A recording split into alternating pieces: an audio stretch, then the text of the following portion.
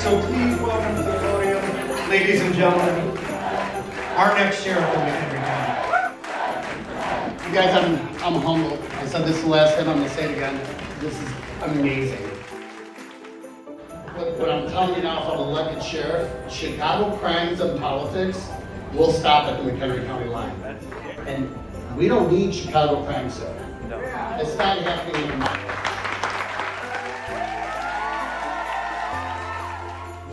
Experience with law enforcement and being able to run a restaurant and a business for over 25 years, I believe the two together is what's going to make us lead this county the right way and save us money, spend responsibly, not waste your tax dollars. We, you know, law enforcement, we are the safety. We, we are the last line standing here on the ground, boots on the ground.